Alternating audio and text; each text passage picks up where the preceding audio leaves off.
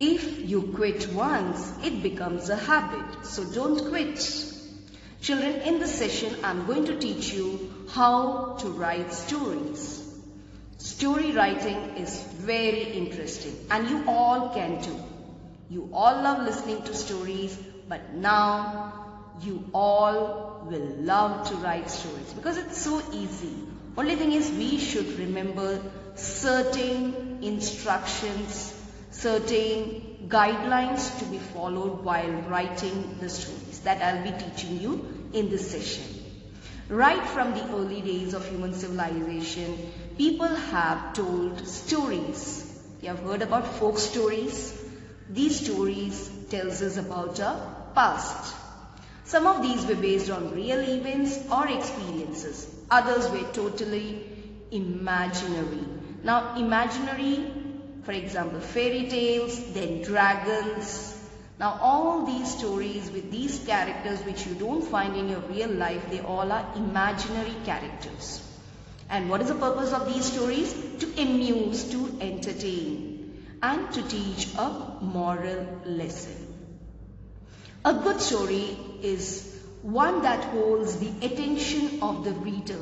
It should create a curiosity among the reader because it has a plot, it is organized well, it has got details and highlighted the things in a proper order. So follow these while writing a story. First thing is plot. A proper plot should be created. Then construction, connect the events properly. Detailing, give the details of each and every incident that happened, description of the person. So uh, look into the smallest detail. Conclusion. Conclusion is very important. You should not uh, just leave the story halfway. It should be concluded properly. Language. Simple and a proper language should be used. And do take care of grammar. The heading. The heading or the title is very important. And you know many a times once we read the title or the heading, we uh, have that curiosity within us that to read, to know more about this particular story. We may write a story from a given outline. Now see many a times the stories can be divided into three main types. One is out of the outline you have to develop the whole story and the second is you would be given any proverb proverb like uh, uh, where there is a will there is a way. Now this is a proverb. Now the proverb becomes the moral and based on that moral you have to create the whole story. Sometimes we are given the opening sentence and then we have to complete the whole story. Children in story writing you have full freedom to select your characters, to think the way you want. So it is a very good way of expressing oneself.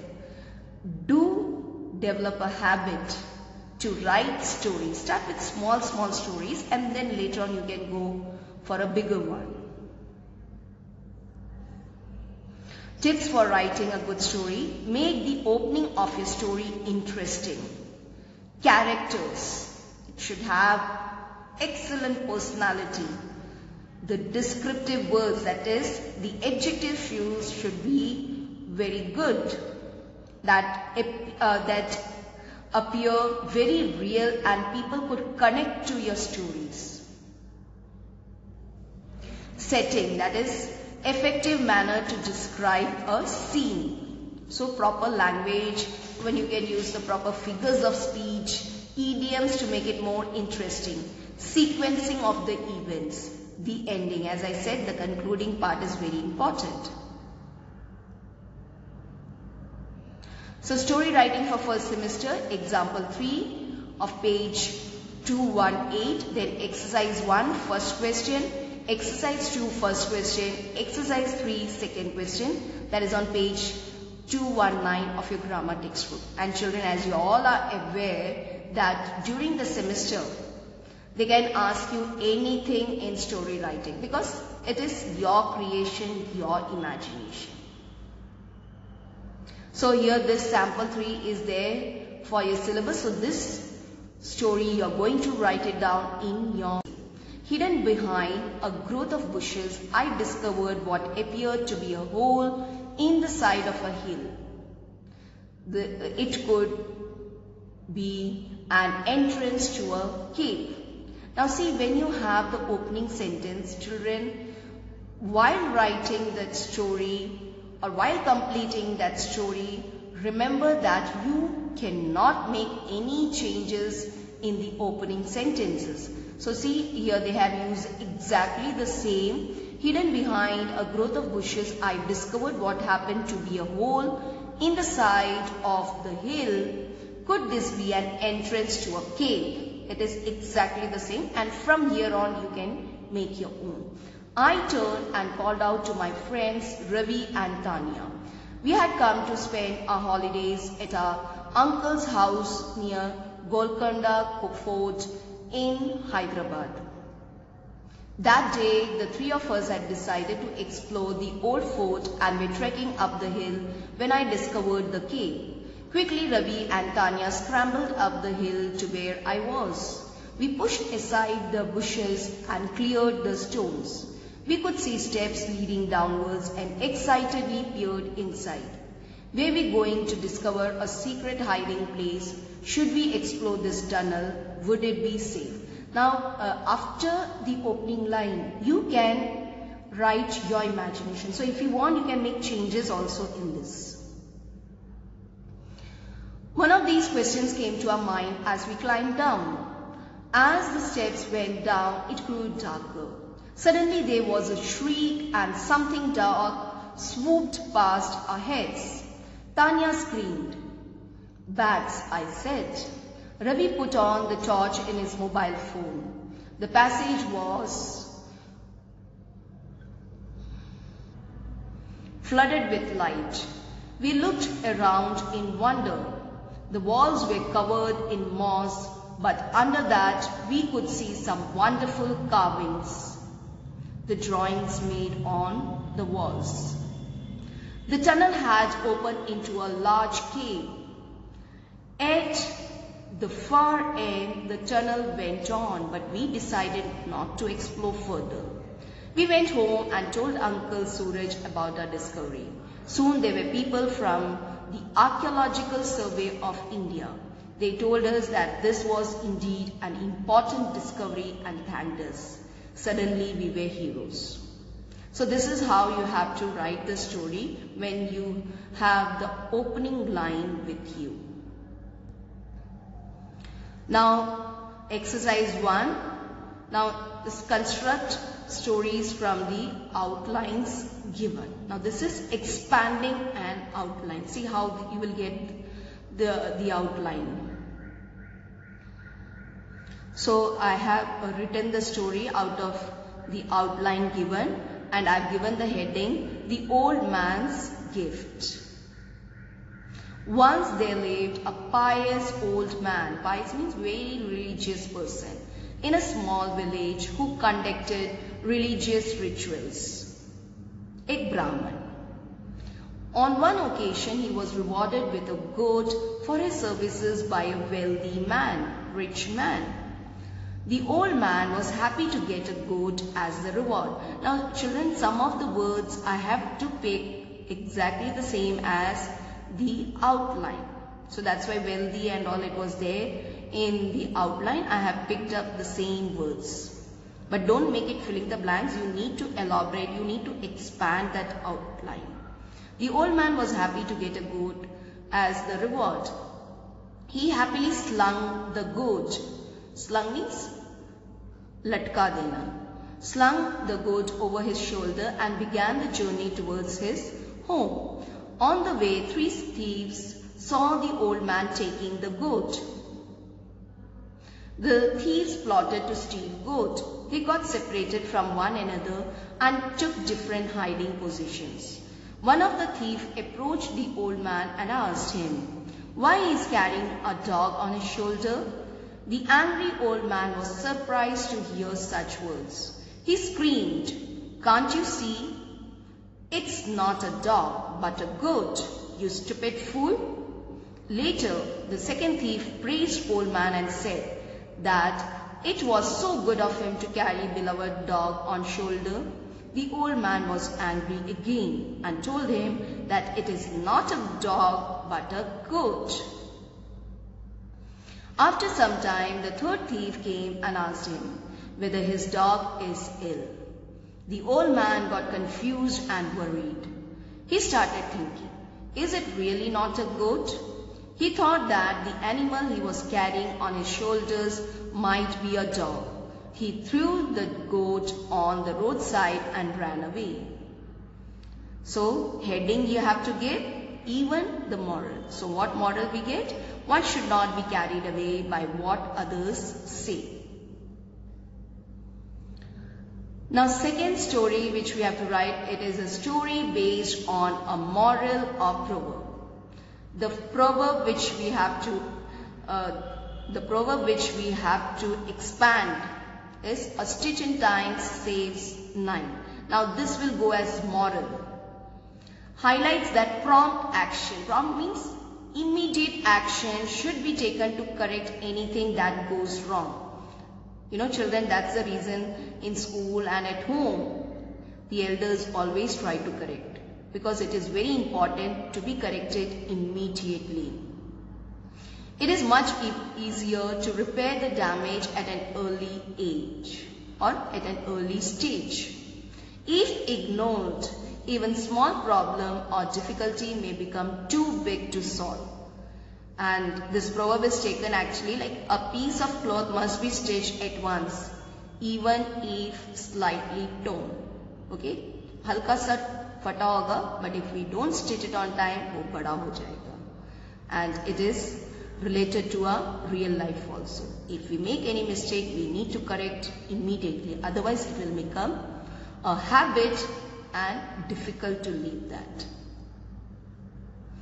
So the moral, we know what is it. Moral is a stitch in time saves nine and this is a proverb which is a moral. So what would be the heading I am going to give? It's a foolish merchant. Once upon a time, a merchant earned a large sum of money by selling his goods. He had to go a long way to reach home. He went to a hotel to get his horse. The stableman, okay, horses are kept in stable, you know that. The stableman brought out his horse and said, Sir, your horse has lost a shoe nail. Now here down you can see uh, in the picture that shoe nail is fixed to the hoof, you know the leg of the horse, it is actually hoof. It's a nail, it's somewhat like a nails of your fingers. Now this hoof, hoof can get hurt or injured and just to avoid that they use this horseshoe. The stableman brought out his horse and said, Sir, your horse has lost a shoe nail. You better wait and put it in. The merchant said, Sorry, I have no time now. Moreover, one nail more or less in the shoe does not matter much. Okay, so that shoe nail is fixed using a nail. So one of the nail has come out. So even the stableman said that you better fix it. But merchant was least bothered. He said one nail if it comes out, nothing much is going to happen. Saying so, he got on his horse and galloped it towards his destination. We cannot say horses run horses gallop. After some time, another nail from the shoe of the horse came off. One was already uh, not there when uh, he has uh, gone to the hotel to get his horse and another came out now. The horse began to limp. Being in a hurry, the merchant did not stop to repair the damage. After some time, the horse began to stagger. Stagger means it, started moving here and there. Very soon it was dark. This further reduced the speed of the horse. He was getting late. At last, he got down and led the horse. Okay, now the horse was uh, staggering here and there. He couldn't uh, move properly. So now what a uh, merchant has to do? He got down and he was pulling the horse now. In the meantime, a gang of robbers appeared from the forest. The merchant could not speed up his horse and save his money. He was at the mercy of the looters. If they will allow, then only he could move now. So they, he was at the mercy of the looters. They thrashed him, they beat him thoroughly and snatched his money. The merchant returned home with a lame horse and empty pocket. His carelessness had cost a heavy price. So, proverb is the moral. A stitch in time saves nine. Third one, each of the sentence given below is the opening line of a story, complete each story. And we have to do only the second one. That is, we were out camping, my parents and my younger sister and my friends Hashim and Sagar. Now here already names are given and character, plot, everything is mentioned. So you have to go with these characters only. It was quite late and we were sitting around the campfire enjoying the peace and quiet. Then you have to continue. We were out camping. Exactly the same lines I picked up. The uh, first few sentences you cannot change which is there in the question. So even I have written exactly the same. My parents and my younger sister and my friends Hashim and Sagar. It was quite late and we were sitting around the campfire enjoying the peace and quietness of the night. We were gazing at the stars and the beautiful sky. Oh, it was such an amazing view. After some time, Hashim and Sagar said, let's go for a walk. A cool breeze was blowing and a perfect weather for a walk. We were chatting, bullying and having fun. Suddenly I realized that we have come a little far from the campsite. The road was all deserted and it was very dark. There was a shriek and something dark swooped past our heads. We were very scared now. Three of us gathered some courage, held each other's hands and started moving towards the camp. We could hear so many strange sounds which frightened us more. I started chanting some of the prayers. We walked slowly. Hashim started screaming, something is crawling over me. We tried to help him but couldn't see anything as it was dark. Somehow, Sagar managed to catch hold of the creature and to our great surprise, it was a small snake. He threw it to the other side. Thank God we are saved. All of us were sweating. At some distance we could see a beam of light. As we got closer, we could see a man covered in a shawl coming towards us. All sort of weird thoughts were coming to my mind. At once, I could hear someone calling my name. Oh, it was my dad. I ran and hugged him. What a dreadful experience we had. I narrated the whole experience to my parents. They were laughing at our adventure of the night. Here, no need to write moral. Even a heading you don't have to write. Only in this. When opening line is given, then you don't have to write. Otherwise, when proverbs are given, that will be the moral. Heading you have to give. And outline, both. Heading and moral, both you have to give. Complete example 3 in your notebook then write exercise 1 question number 1 exercise 2 question number 1 exercise 3 question number 2 in your notebook Thank you and may God bless you.